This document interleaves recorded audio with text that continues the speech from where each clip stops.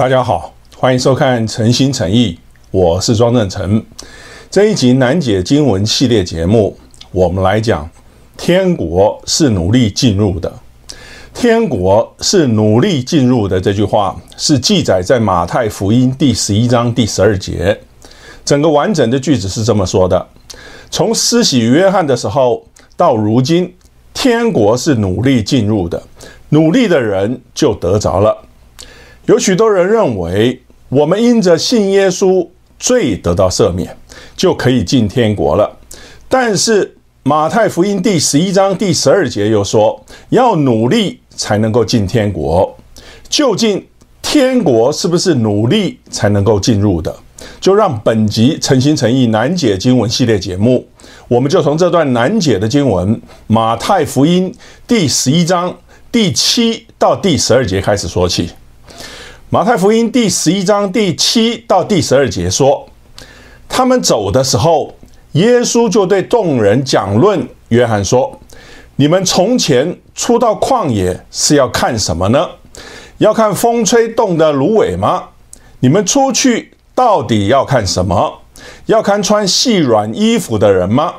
那穿细软衣服的人是在王宫里。你们出去究竟是为什么？”是要看先知吗？我告诉你们，是的，他比先知大多了。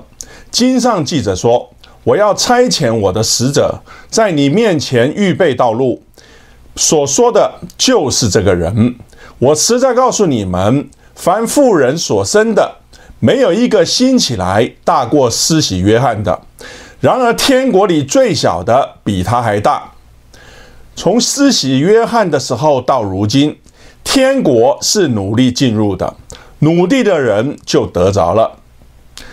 我们刚刚读的这段经文是来自和合本的圣经第十二节，和合本的翻译是：从施洗约翰的时候到如今，天国是努力进入的，努力的人就得着了。但是这段经文在新译本的翻译当中是这么说的：从施洗的约翰的时候。直到现在，天国不断遭受到猛烈的攻击，强暴的人企图把它夺去。这两种翻译看起来差距非常的大，究竟要如何理解圣经真正的意思呢？曾经有一位网友提到，他们的教会里面有一位传道人讲到的题目叫做“得救的二十四个条件”，其中有一个条件就是。必须要努力。他所引用的经文就是这节经文。他认为得救是有条件的，而且是要付出二十四个条件。换句话说，就是一个人如果没有这个二十四个条件的话，那么这个人就不会得救。有了这个二十四个条件的话，他就会得救。这个网友觉得这种说法违背了因信称义的原则，所以他问我。这样的解经正确吗？其实这段马太福音第十一章第十二节的经文说，从施洗者约翰开始传道到今天，天国遭受猛烈的攻击，强暴的人企图夺取它。它的原文是希腊文，但是从希腊文的字面上不太容易看得懂它是什么意思。想要理解这段经文，首先我们必须要留意。耶稣讲这句话的背景，也就是理解这段经文的关键。我一再强调，解经的时候不要断章取义，因为断章取义会失去圣经原本的意义。所以我在过去的节目当中一再的说，要对照上下文。这节经文也是一样，如果脱离了上下文来理解这段经文的话，就容易陷入人要靠功劳来得救的这个误谬。所以我们要谨慎。从上下文当中，我们可以得知，这里并不是在讲我们如何能够得救，而是在讲关于一个得救的人要如何来面对逼迫的事情。我们可以从这段经文的上文看到，耶稣正在谈论施洗约翰。现在我换一个方式，用现代化的语言来诠释这段马太福音第十一章第七到第十一节的情节。耶稣说：“施洗约翰先前出来传道，他带来的信息是：天国不是虚构的，天国是真实的，天国将要来临，因为有一个人要把天国带来，他不是虚构的人物，而是真正的弥赛亚，他就是拿撒勒人耶稣。这是施洗约翰所传讲的讯息。施洗约翰这样描述耶稣，而耶稣是怎么谈到施洗约翰的呢？耶稣在这段经文当中对众人谈到施洗约翰，耶稣说：“施洗约翰明白天国的道理，天国将要来临，他的大能能够使整个世界重回到正轨。当施洗约翰明白了天国的道理，这带给施洗约翰什么影响呢？天国的道理使施洗约翰彻底的改变。”因为施洗约翰不是一个贵族，而是在属灵上面火热的人。这是因为施洗约翰明白天国是真实的，并且天国将会临到，所以天国便成为施洗约翰追求的一切，并且掌管了他的生命。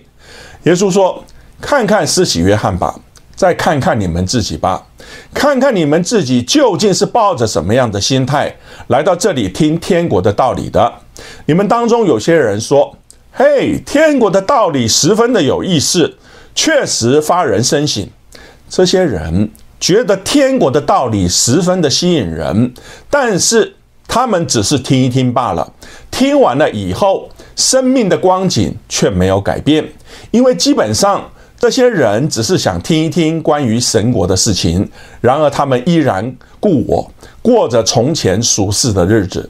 但是想要进天国的人，怎么可能是这种人呢？于是接下来，耶稣说了本集节目的重点：从施洗约翰开始传道到今天，天国遭受到猛烈的攻击，强暴的人企图夺取它。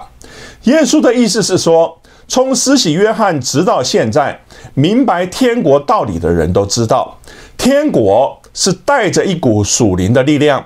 要进入他们的生命当中，但是撒旦想要阻止他们进入天国，所以千方百计的要把天国从他们的生命当中夺走。由于这句话希腊文的原始的意思从字面上不太容易看得懂，所以和合本的圣经在这里把它翻译成为“天国是努力进入的，努力的人就得着了”。但是和合本这样的翻译。反而造成了有些人认为要靠行为才能够得救的这种误解。事实上，这里所说的努力，并不是我们得救的条件，而是一个得救的基督徒应当有的态度。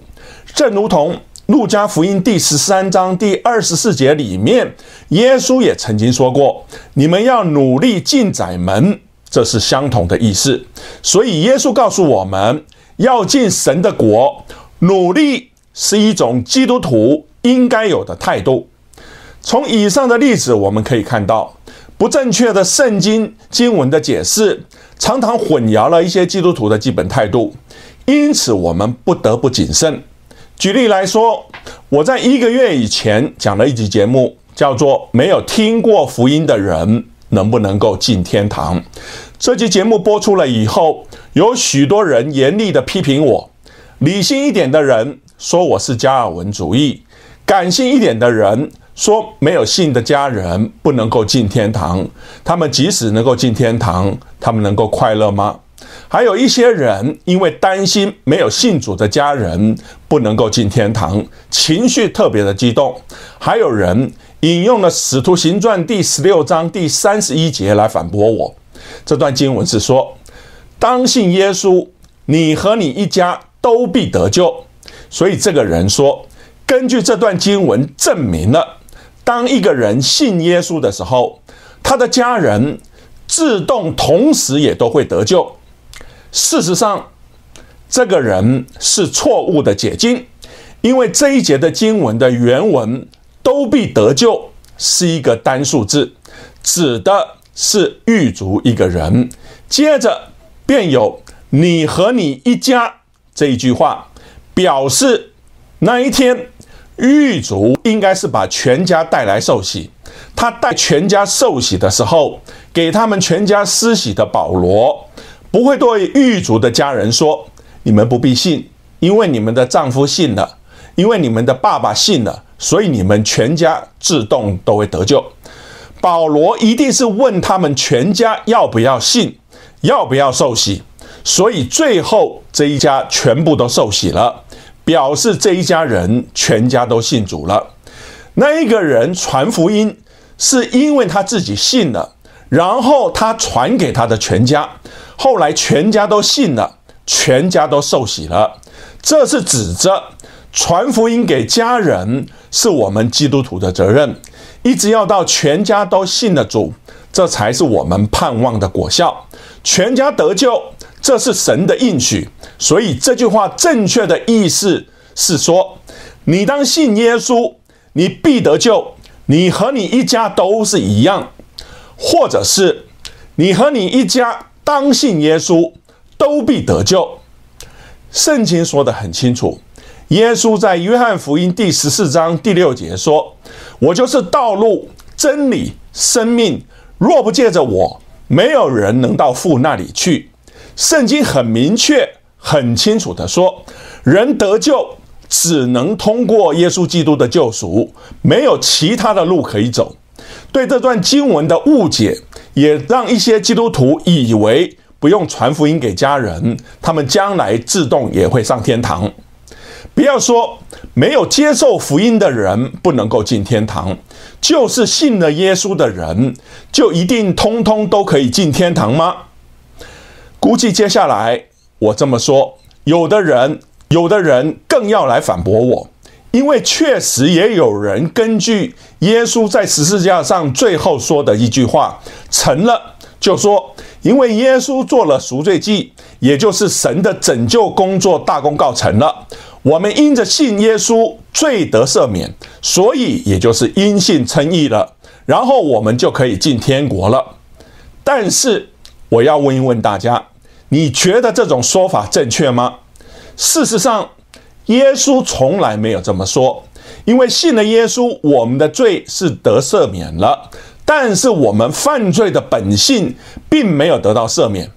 我想问大家，耶稣说过。你们罪得赦免就可以进天国了，这句话吗？没有。那么耶稣说过，你只要信我，你在天国里面就有份了，这句话吗？也没有。耶稣也没有说过这句话。或许你会说，耶稣没有说过这句话，并不表示没有啊。既然有意义，那么我们就来看耶稣是怎么说的。耶稣说。凡称呼我主啊、主啊的人，不能都进天国，唯独遵行我父旨意的人才能进去。那遵行天父旨意的，也就是说，要能够遵行神的旨意，能够行神的道，能够施行真理的道。这个真理的道，就是指着神的话说的。凡是神对人的要求，必须要谨守的，都要守住。这样的人才能够进天国。在圣经里面预言了主再来的时候，要对所有的人进行审判。请注意，末日大审判不是审判不信的人，也包括了审判信主的基督徒。所以耶稣才会说那些分别稗子跟麦子、绵羊跟山羊。聪明的童女跟愚拙的童女，还有那些侍奉神的、不侍奉神的，还有善仆恶仆的那些预言，这些预言说明了，当末日的时候，审判是从神的家开始的。审判是从神的家，就是从基督的教会开始的。这个意思原本是旧约所昭示出来的。说到惩治是从圣所起来的，神的选民要因为罪先受审判。后来彼得基于这一个观点，认为审判是从神的教会开始的，然后才拓展到别的地方。以上的这些证据都说明了，不是所有的基督徒都会进天国，有些仅仅得救的基督徒是不会进天国的。那么你或许要问？什么是仅仅得救的基督徒呢？事实上，我多次的回答网友，也多次的在节目当中提到过，什么是仅仅得救的基督徒。我们前面提到，有许多人认为得救就是信了耶稣，罪得到赦免，这也就是得救了。保罗在哥林多前书第三章第十五节说：“我们要在那立好的根基上，个人谨慎的建造，并有火的试炼。人的工程若被烧了，要受亏损；个人却要得救，只是要从火里经过一样。”保罗的意思也就是说，有些基督徒虽然相信耶稣，罪也得到赦免。但是他得救的装备不足，或者得救的装备装错了，在末日大审判的时候，这些错误的东西都会被焚烧殆尽，存不下来。因为这些人装备的东西，通通都是草木和谐，而非金银宝石，所以那些当然都存不下来。他们虽然得救，但是像火里经过一样。其实我们在前面提到，耶稣在十字架上最后说的一句话成了。那句话是：凡是相信耶稣的人都会得救。但是神的救赎工作完成了，并不是神的计划就此完成了，因为有了耶稣用他自己为我们献上赎罪祭，人的罪被赦免了，人才有资格来到神的面前，接受神的做工。根据这个事实，我们看见了神做救赎的工作，就是给末世神要做拯救的工作打一个进一步的基础。所以末世的审判、刑罚、试炼、熬炼，才是真正拯救人脱离撒旦权势、脱离撒旦本性败坏辖制的工作。末世的工作才能够变化人的撒旦败坏的性情，拯救人。脱离撒旦权势，达到完全归向神的目的。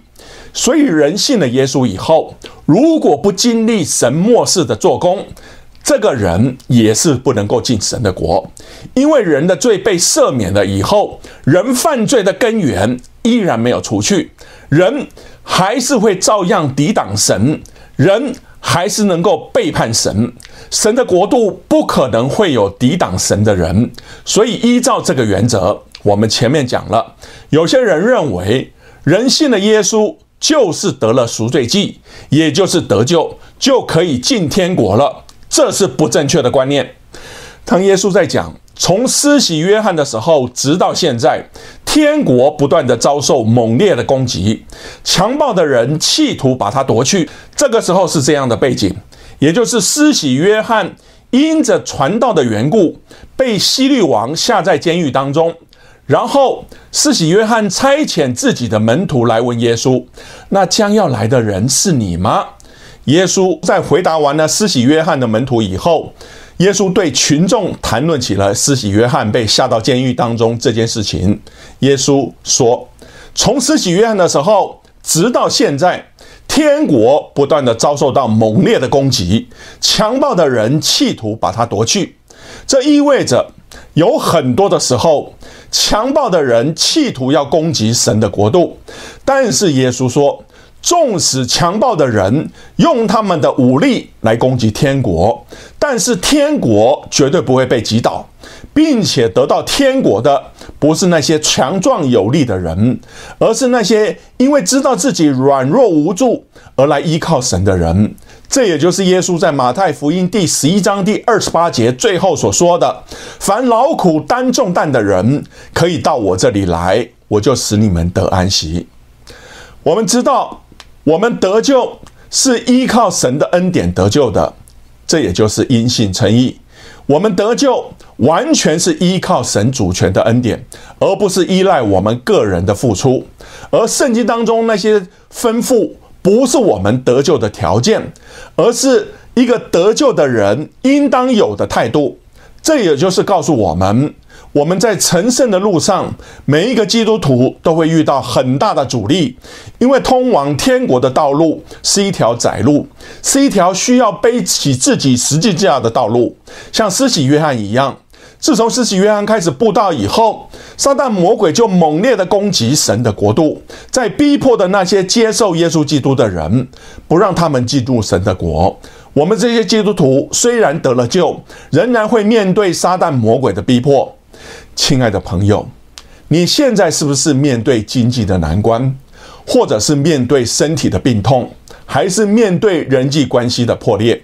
虽然你已经相信耶稣是你的救主，但是你仍然没有看到这些问题得到解决，甚至你已经开始怀疑人生这条路走到了死胡同。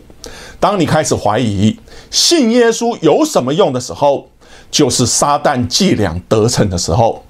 这也就是这段经文所说的：从施洗约翰的时候直到现在，天国不断的遭受猛烈的攻击，强暴的人企图把它夺去。因为就连施洗约翰在遇到撒旦猛烈攻击的时候，都要怀疑耶稣是不是弥赛亚了，更何况是我们呢？我们每个人的人生都不相同，但是我们都有遭受考验的时候。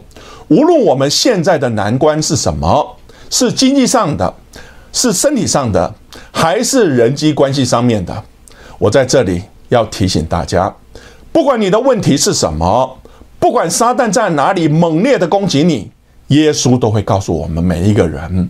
耶稣会告诉我们说：“我爱你，我支持你，我与你同在。你不要放弃，你要守住我已经向你显明的这条道路。”今天，当我们面对生命当中诸般的挑战，心中没有平安的时候，耶稣仍然要向我们发出邀请。耶稣会说：“到我这里来，因为耶稣曾经为我们的罪、为我们伤痛、为我们的沮丧苦恼、为我们的软弱恐惧而受苦，所以耶稣知道要怎么样来帮助我们，耶稣知道要怎么样来安慰我们。”耶稣知道要怎么样来巩固我们，好让我们能够持守这样的心智。过去这样，今天依然是这样。所以，只要我们能够在困难挑战当中坚持下去，我们就会在神的国再度相见。以上就是本集难解经文系列节目为您所介绍的。天国是努力进入的。我们下次见。